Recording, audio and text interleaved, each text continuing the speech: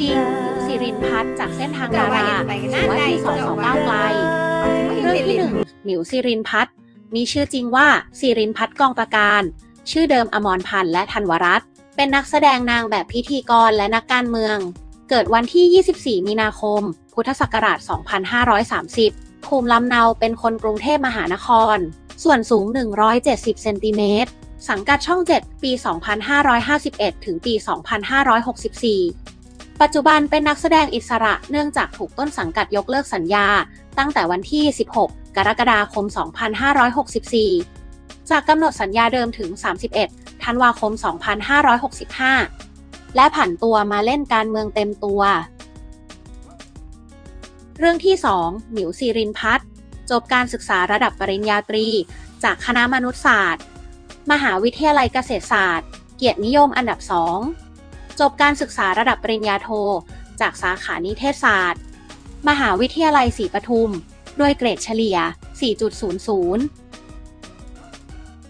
เรื่องที่ 3 หมิวซีรินพัฒน์เริ่มเข้าวงการบันเทิง จากการประกวดมิทีนไทยแลนด์ 2003 ได้รับตำแหน่งรองชนะเลิศอันดับ 2 และผ่านเข้ารอบ 12 คนสุดท้าย เวทีการประกวดมิสไทยแลนด์ยูนิเวิร์ส 2552 อีกด้วย ต่อมาได้ชิมลางละครเรื่องแรกในเรื่องรักได้ไหม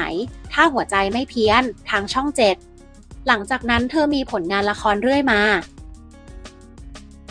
เรื่องที่ 4 ผลงานเด่น บทบาทแม็กมีแครีจากเรื่องเพลงรักทะเลใต้ ปี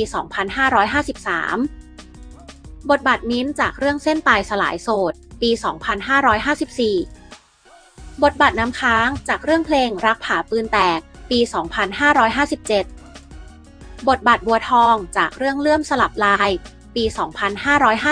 2558 บทบาทแอนจากเรื่องฉันทนาสามชาติปี 2559 บทบาทรุจีจากเรื่องหงเหนือมังกร ปี 2560 บทบาทฟ้าทองจากเรื่องเรือมนุษย์ ปี 2562 บทบาทชยานีนีนาจากเรื่องเพลิงปริศนาปี 2564 บทบาทเวลุรี จากเรื่องหลงกลิ่นจันทร์ ปี 2564 เรื่องที่ 5 หมิวซีรินพัฒดาราหัวใจประชาธิปไตย โดยหมิวซีรินพัฒได้ขับรถส่วนตัว ไปยังที่ชุมนุมม็อบ 28 กุมภา2564 ที่ผ่านมา โดยเธอได้ช่วยขับรถไปส่งผู้ชุมนุมที่ตกค้างไปยังจุดอื่น ๆ อีกทั้งยังได้ออกมาทำการประนามสื่อหลัก ที่รายงานข่าวไม่ครบถ้วนและไม่รายงานตามความจริง จนทำเอาเหล่าชาวเน็ตต่างก็พากันออกมาชื่นชมการกระทำของเธอกันยกใหญ่ เรื่องที่ 6 เส้นทางการเมืองในเดือนธันวาคม 2565 มีการเปิดตัวหมิวซิรินพัฒเป็นสมาชิกพรรคก้าวไกล ตั้งแต่วันที่ 28 ธันวาคม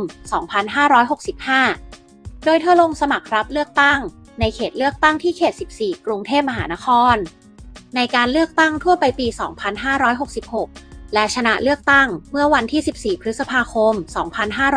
2566 ด้วยคะแนนท่วมท้น 42,187 คะแนน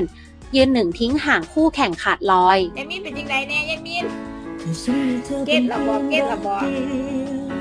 และเธอมีฉันคนเดียวทั้งเปล่าเล่นใจอะ